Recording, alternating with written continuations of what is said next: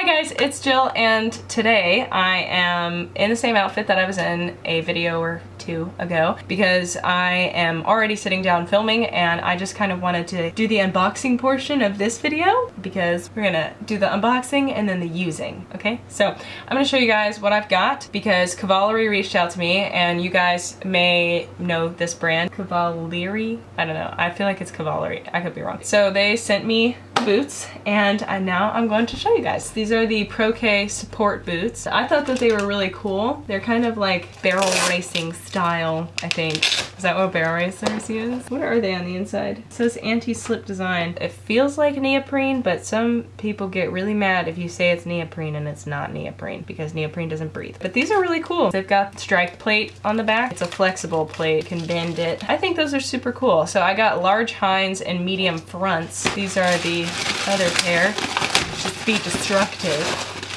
Oh, take that. For the record, I meant to ask for these in white, but I forgot to specify color, so I got them in black.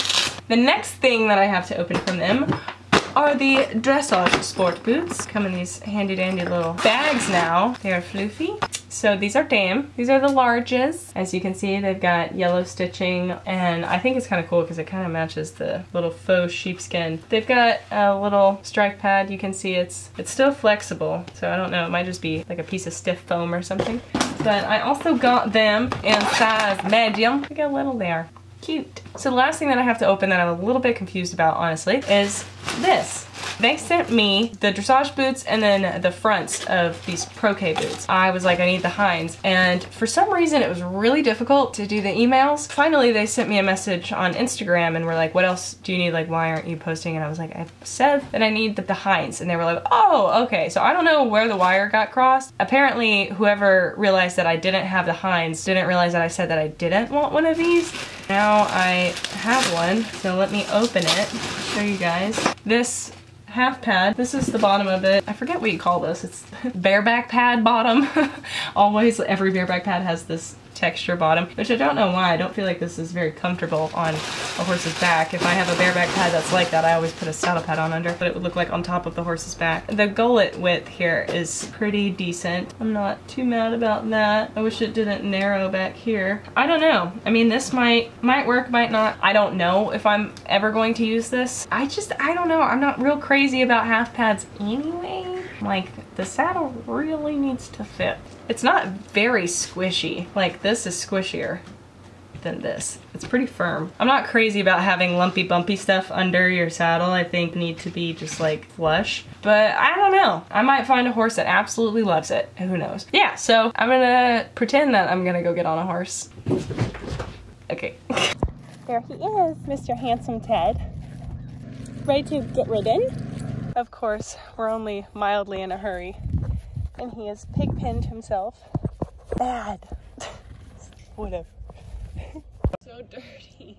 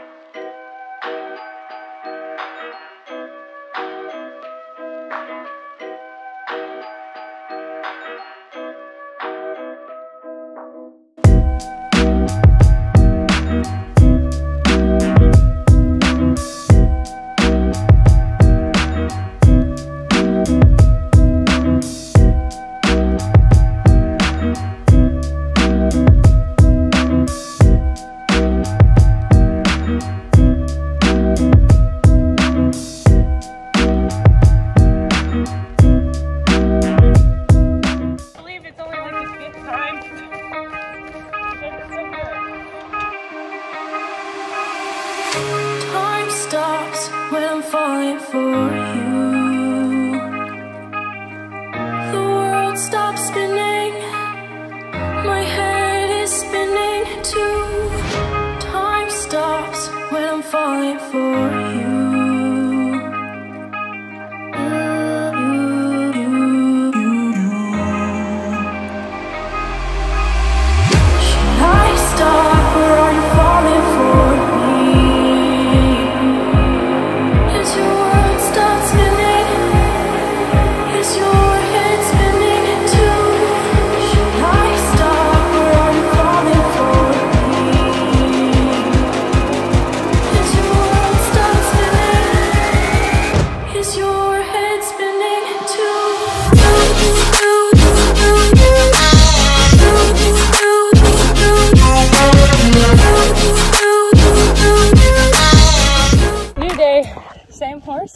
gotta try out the other pair of boots. And we are also in the Milestone Equestrian saddle pad, very famous.